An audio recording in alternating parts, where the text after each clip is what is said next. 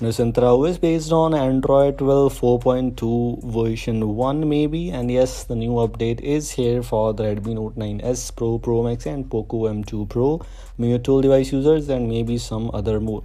If you click this you will be see you will see this kind of basic information everywhere. If you click on the maintainer name you will see the information regarding the maintainer some information chipset which will give you the chipset device etc etc and the build number and some these shortcuts are available. So something new interesting ui available in the about phone and other than that of course based on android 12 Nusantara this version is not based on Android 12L, so yes, no features are compromised here.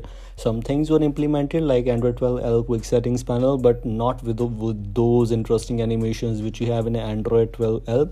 Let me show the default launcher which we have here. It's not actually Pixel launcher. This is the Lawnchair launcher which we have pre-installed, which means some better options, better customizations for you if you want to install Lawnchair launcher on other devices uh, using any other custom ROM, you can definitely give it a try. Launch your Magisk file, launch your APK file, everything I have already made a video on. So make sure to check out the channel if you need these things.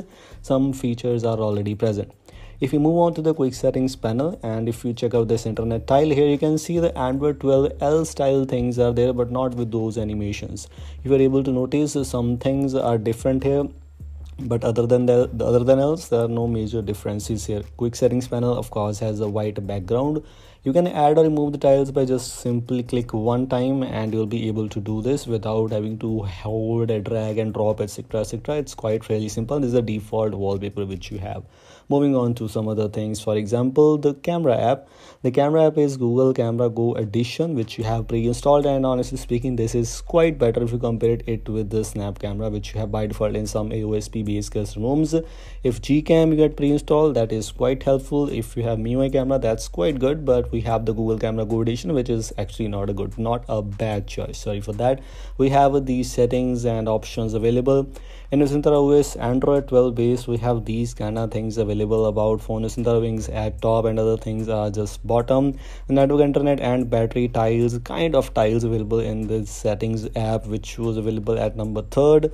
Things are basically same. Now let me tell talk about the Google photo storage for sure backing up photos and videos from this pixel is free and free of charge and unlimited and it was expected. You have the full resolution backup for the google photos in unlimited and that's good. That's absolutely good. If you need this then you need to try out this build on your device for sure. Other than else things are going really fine i think so. This is about nusantara os latest version which i'm talking about. We have the february security patch by the way. It's not actually with the march security patch. As expectedly we have the face lock fingerprint lock app lock. Everything is already included. Whichever you need everything is already here.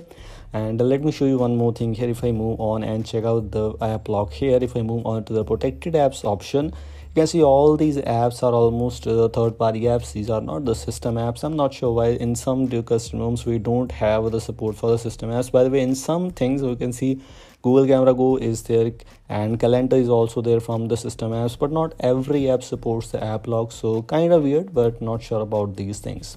Other than else let's move on some bit of things about the customizations or features which you have in the Nusantara wings. Of course the lock screen related customizations status bar and etc etc customizations kind of customizations are already present there. You have uh, the traffic indicators already included. Some users were looking for it. Battery related customizations some fingerprint related customizations.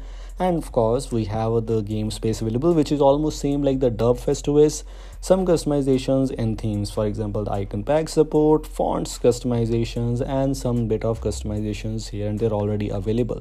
Some things which i just want to let you know i think so i've already shared with you also have the navigation bar style customizations available which you don't get in any other guest ROMs so far whatever i have tried but other rooms might implement this very soon. These were things i just want to let you know. Link is in the description. So if you like this video don't forget to like and share this. As always i will see you in the next video. Until then goodbye